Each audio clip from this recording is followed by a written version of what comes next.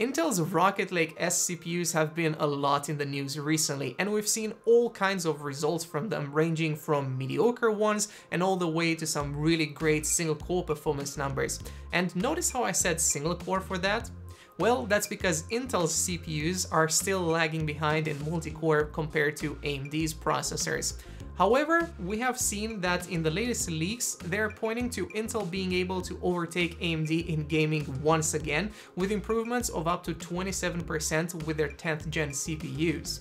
Now, this is of course attributed to their tweaked design and IPC improvements, but I'll let reviewers talk about that once the official reviews and official benchmarks are going to drop sometime mid-March because they're obviously going to do a way better job than I can do in this video. However, I'd like to point out that there have been some um, benchmark leaks out there, which I will be covering here, including a video um, reviewing one of Intel's upcoming CPUs, so definitely check those out if you're you're interested by clicking the links in the info cards above because right now I will be starting with the 11900K which we've seen being able to hit around 1900 points which would make it 27% faster than last chance 10900K and roughly 24% faster than the 5800X or 5900X. The 11700K with a 5 GHz overclock hit about 1800 points, but we've also seen the 11700K being able to reach a similar performance without the massive overclock, which would of course mean it doesn't have the increased heat output and you're not going to be required to use a beefy cooler to cool these CPUs. Now of course we also don't know uh, what kind of a TDP we're going to be seeing on those uh, CPUs whenever you're going to overclock them, but one can guesstimate that you might even see that 200 or 250 watts being reached at some point. And those are, of course, the, the power limits for these CPUs. Now, going on with the non-K variant, we've seen that one was about 100 points slower, with the 11900KF being quite sluggish compared to the 11900K.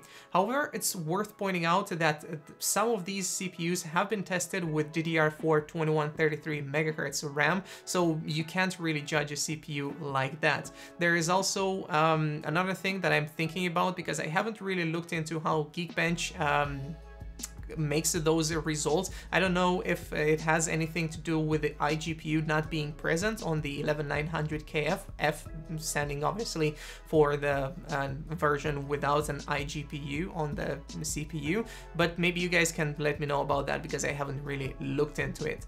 Now moving forward, we've seen that the 11600K and the 11500 were also in the 1600 points neighborhood, which is similar to what you'd see on a stock 5600X. Now obviously we're going to have to see if they are indeed going to be faster than the 5600X in gaming benchmarks, but one could estimate that that might actually happen. Now obviously prices are also going to influence uh, your buying decision, so uh, let's wait for that as well. But the last one we've seen was the 11400, which I also covered in yesterday's video, and there we've seen a score of about 1550 points, but with a slow RAM configuration, we don't really know if uh, these are indeed the numbers we're going to be seeing after their official launch date. And I would like to point out that no, they're not going to be all that slow if you're going to use something like 300 megahertz RAM on, uh, on that motherboard with that CPU. But obviously, I'm really interested in knowing what you guys think about Rocket Lake and would you actually consider buying Rocket Lake when you know that